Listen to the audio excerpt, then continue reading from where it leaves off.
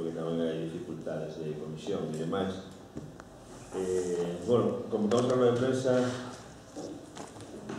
porque o noso grupo está certamente preocupado e ademais estamos eh, recibindo continuamente eh, pois o que son as queixas e a, o malestar dos usuarios do eixo atlántico. Parece que hai algunhas cuestións que non se deben de mezclar cando hai medicamentos que teñen contraindicacións e se mezclan, os danos colaterais son complicados. E deberá estar prohibido mezclar inauguracións de infraestructuras e campaña electoral, porque provocan efectos secundarios certamente comprometidos. E neste caso, efectos secundarios que incluso poden costar vidas humanas. Non? E nós non queremos, e temos por desgracia excesivos exemplos neste país para que unha vez máis se antepoñan os votos ás vidas, incluso algún poña por encima no seu rango de valores captar votos que manter vida. Non? Por lo tanto, estamos nunha situación de excepcionalidade e de perigosidade que nos indica que o que está sendo a inauguración nos primeiros días do eixo atlántico de velocidade alta é unha chapuza. É a chapuza galega por excelencia, neste momento, certamente inaceptable. E que ademais está provocando que milleiros de cidadáns deste país vivan peligrosamente durante moitos meses, porque iso é vivir peligrosamente. E se, e se o que quería o goberno era que a nosa xente eh, se acostumase aos deportes de risco, iso ten que ser en outros ámbitos e con outra seguridade, e non nunha infraestructura que supostamente está feita para melhorar a vida da xente. A primeira cuestión deso despois falar Antón é eh, a nosa insistencia en que esta línea conte con todos os sistemas de seguridade que a día de hoxe non están garantidos. Pero ademais hai unha serie de cuestións do día a día que son francamente inaceptables e que temos que denunciar para que se solventen. Como é posible que no século XXI un novo trazado ferroviario de doble vía que une Vigo con a Coruña contemple a necesidade de paradas de trens para que se crucen os trens. É dicir, é o único país moderno, civilizado, donde unha vía de doble ancho resulta que para o cruce de determinados servicios de tren ten que producirse con un tren parado. E isto por qué? Porque estamos ante unha auténtica chapuza que se inaugura por un calendario electoral e non porque este rematado agora. Por varias cuestións. Eu non vou a facer o detalle técnico porque eso terán que explicar os responsables desta situación porque é certamente complexo, pero sí que é certamente irresponsable que pola utilización de diferentes tipos de trenes pola utilización de trens eléctricos e non eléctricos e, sobre todo, pola incompatibilidade das diferentes velocidades se teñen que producir o que chaman colchóns de vía. Que é un colchón de vía? Pois son sitios donde se ten que producir unha parada para que poidan cruzarse trens. E se produce por dúas cuestións. Primeiro, porque non é unificado o modelo electrificado do conxunto do eixo e, en segundo lugar, porque solamente teñen catro novos trens que conviven cos trens que había anteriormente e, polo tanto, non poden convivir en determinados tramos. E iso provoca que a xente se suba, que lle venderon como un ave, que todos sabemos que non é, e de repente vexan que o seu tren se para no medio da vía esperando que se cruce outro. Eso, dende logo, é unha aberración. Sobre todo porque, primeiro, provoca inseguridade, non temos claro cal é o mecanismo de parada que garantice que eso se produce en términos de absoluta seguridade e que non dependa dunha decisión persoal e, polo tanto, simplemente da pericia do, que leva o tren, e iso, dende logo, xa sabemos que é un risco, e, eh, ademais, porque non garantiza os maravillosos horarios que nos dixeron. Eses horarios de reducción que levan, por exemplo, eh, a que se pagan os fascictos en 90 minutos e cosas así, son cuestións excepcionais. De forma habitual non se cumple ese horario, solamente de forma excepcional se cumple o horario. Por lo tanto, esa unha das primeiras chapuzas máis absolutas desta inauguración, que ademais é un risco.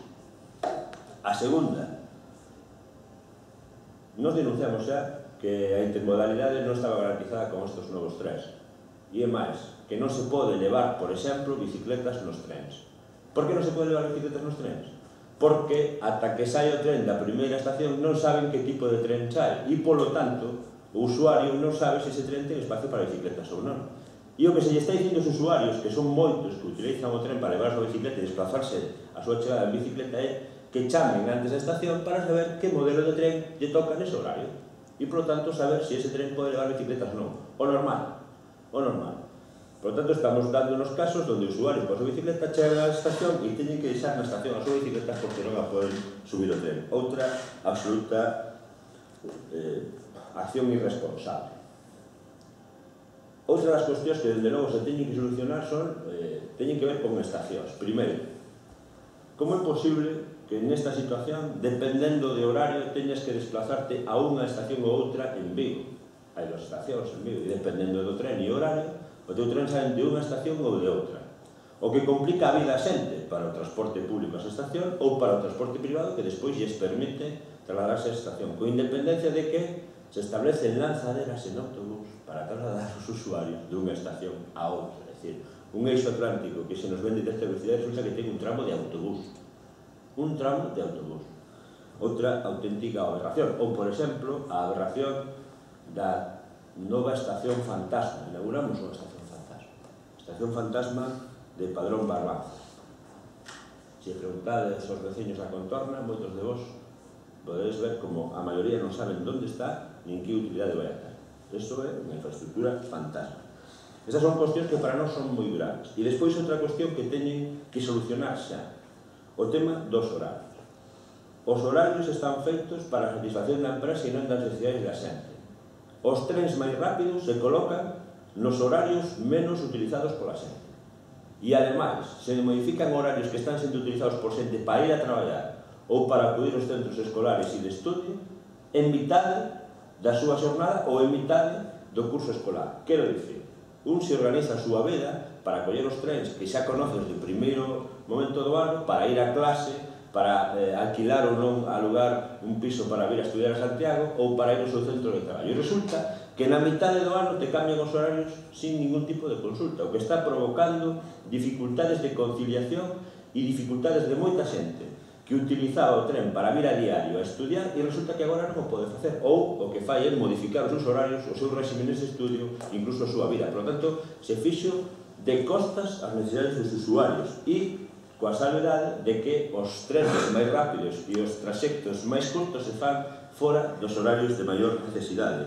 É unha auténtica aberración. Eu poño un exemplo que é moi evidente. Decenas de persoas en Vilagarcía que traballan en Santiago utilizaban un tren que lles permitía primeiro conciliar deixar os seus fillos nos colexios e vir a traballar. A modificación, sin consultar ni siquiera ese horario, significa que a día de hoxe xa non poden deixar os seus trens os seus fillos nos colexios. E moitos deles non teñen alternativa. Pois eso é unha das aberracións que temos encima da mesa. Por lo tanto, nos queremos denunciar unha vez máis que ao goberno lle dá igual os cidadáns, o que queren son votos e publicidade, e que perante a publicidade se venden ao diaño, a quen faga falla, eh, estropean a conciliación da xente, poñen en risco os postos de traballo moita xente e ademais, unha vez máis, eh, por desgraza, siguen a poñer en risco a vida de moitas persoas. E decía Núñez Fijó que estamos ante un momento histórico para Galicia. É certo é un momento histórico onde se demostra a incapacidade de un goberno que non está á altura das circunstancias e que permite que os cidadáns se xoguen a vida todos os días nun tren que non ten a seguridade que debería ter e que ademais lles complica o día a día simplemente porque hai un interese de calendario electoral xa está ben de que os intereses de calendario electoral se antepoñan a ansiedade dos usuarios. Por tanto, eu creo que son un montón eh, de situacións irregulares, anómalas, que, como decía o señor Rajoy, nun país normal non deberían darse. Pero está claro que o único que non hai normal neste país son aqueles que nos gobernan, que toman decisións e que poñen en risco o futuro do país e das persoas que nel viven. E eu, en todo caso, nada máis, deixo a, ao compañero Antón para que remate. Bueno, pois, moi, moi brevemente, porque xa está moi ben exposta a situación por, por Juan, eh, como el dixo, eh, temos que vir ao Parlamento a reivindicar cuestións obvias, eh, de sentido común, que non deberían de ser ni siquiera debatidas se fósemos eh, unha democracia avanzada. É dicir, nos preguntamos por que non se inicia a posta en marcha deste servicio con todas as medidas de seguridade definitivas? Por que non se inicia eh, a posta en marcha deste servicio despois de ter definidos unhos horarios, unhas frecuencias, tendo en conta as necesidades das persoas, cunha boa planificación en canto a información. Por que non se inicia a posta en marcha do servicio con todas as garantías, con todas as condicións? A resposta é moi clara e evidente, porque senón nos chegaría a inauguración antes das eleccións. Simplemente por eso, E por moi habitual que nos pareza aos galegos e galegas este modus operandi que venen repetindo durante moitos anos, non o podemos tolerar. Non é normal. O servicio que xa acumula oito anos de retraso sobre as previsións iniciales tense que poñer en marcha cando este rematado, cando conte con todas as garantías, cando teña feito un traballo para definir as frecuencias e os horarios contando ca, cos usuarios, e non, como explicou Facardo, cunha serie de cuestións que só obedecen á improvisación e á presa e a que lles importa moi pouco a vida das persoas e lles importa máis inaugurar antes das eleccións este servizo. E, moito máis grave é eh, esta cuestión cando ainda non se cumpriron dous anos do accidente de Anglois e que eh, parece que non aprendimos nada, unha vez máis o repito. Eh, nos registramos a semana pasada unha iniciativa pedindo que se poña en servicio cando conte con todas a, ou con todos os sistemas de seguridade definitivos co RTMS é unha proposta tan impopular como esa. É dicir, que se poña a funcionar con sistemas de seguridade que se definiron por parte dos técnicos que eran os adecuados para esta eh, liña. Ben, é tanto pedir, é unha obviedade. Se unhos técnicos deciden que o RTMS é o sistema de seguridade apropiado para este tramo pois cando se pone en servicio debe ser cando xa este instalado. Nin máis nin menos é o que pedimos. E despois do Dan creo que non é, non é moito eh, pedir.